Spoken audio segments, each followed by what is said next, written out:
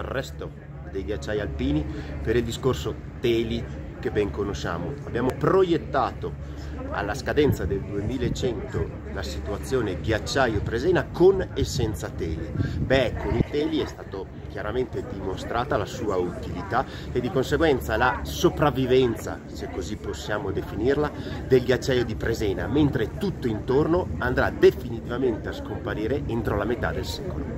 Ecco, i teli, diceva, eh, servono per dire, rallentare ovviamente scioglimento di questo ghiacciaio, sai che ci sono anche parecchie polemiche sulla, su questo tipo di teli. Lei che tipo di riflessione ha fatto su questo aspetto? I teli non devono assolutamente essere considerati come la medicina per rimediare all'arretramento dei ghiacciai.